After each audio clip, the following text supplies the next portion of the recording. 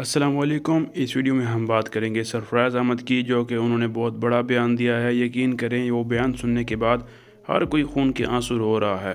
दोस्तों, आपको पता होगा कि सरफराज अहमद पाकिस्तान क्रिकेट टीम के प्लेयर हैं, कैप्टन भी रह चुके हैं, लेकिन ड्यू टू बैड परफॉर्मेंस और थोड़ी सी पॉलिटिकल रीजंस की वजह से उन्हें टीम से बाहर किया हुआ था।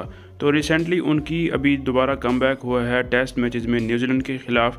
तो जब वो बैटिंग पे आए तो उन्होंने ये जो बयान दिया है, आपको बताएँगे तो आप ज़रा सुने और फिर उसके बाद आप ख़ुद आप देखें आपका क्या हाल होता है।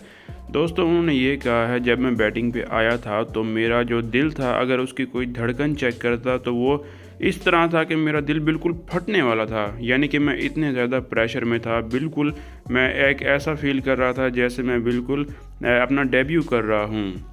ये बयान दोस्तों उन्होंने प्रेस कॉन्फ्रेंस में दिया है, जो कि मैच की बात होती है। और आपको बता दें कि सब, जैसे ही सबने यह बयान सुना तो वो बिल्कुल शौक में रह गए। और उन्होंने 86 रन की इनिंग भी खेली। दोस्तों, आपको सरफराज के इस बयान पे कैसा लगा कमेंट में ज़रूर बताएँ।